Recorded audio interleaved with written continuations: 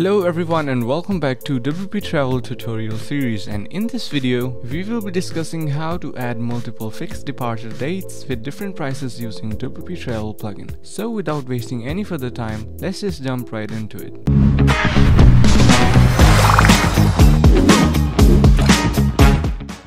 WP Travel plugin provides a feature regarding adding seasonal prices to different dates.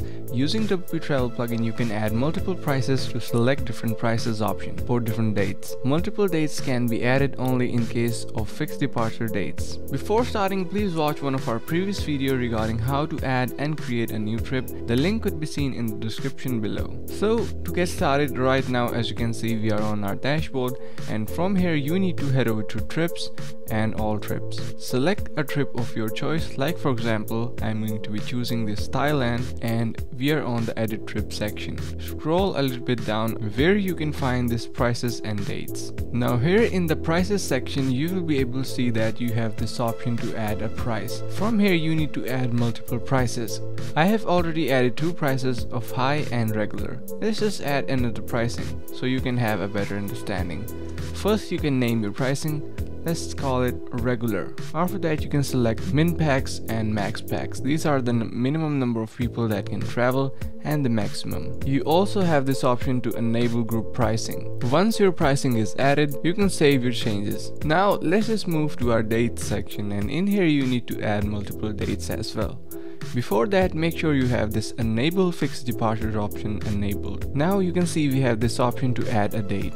Click on add date and here you will be able to see some fields to fill in where you can add some information and your date will be added. Let's call our first date seasonal and select the pricing that we already created. You can see when you type in the keyword it automatically pops up in the drop down and you can select it from there. Select the starting date of your trip and ending date. Now we are pretty much done. Click on save changes and your first date is added. Similarly, you can add multiple other dates as well. Let's just add another and call it regular.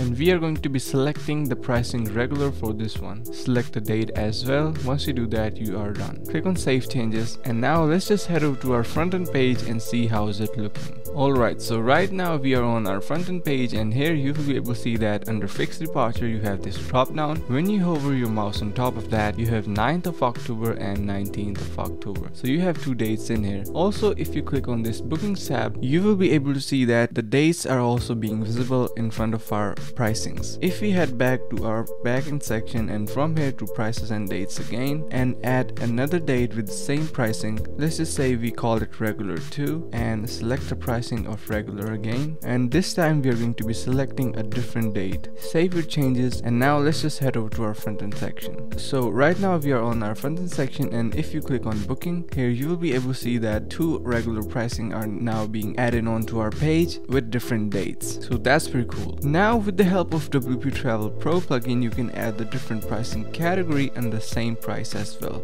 So like for example currently it is adult but in case you want to add a child pricing you can do that too under the same pricing. To do so you need to head over to your backend section again and from here to prices. Here let's say if I want to add a child pricing in the regular option I can do that simply by clicking on this add category option. When I do you can see we have this drop down of category select child from here and price per person. And also you can adjust the price as well so for our adult the price was 200 for child we can do 100 once you do that click on save changes and your category is added. If we head over to our front end section and click on booking here you will be able to see that in regular we have two categories adult and child. And now we can add them individually as well. So that's pretty much it for how to add multiple fixed departure dates within different prices using WP Travel plugin. I really hope you understood the concept and learned something new. If if you did so, make sure to subscribe to the channel, like the video and share with your friends. Thanks for watching, see you in the next one.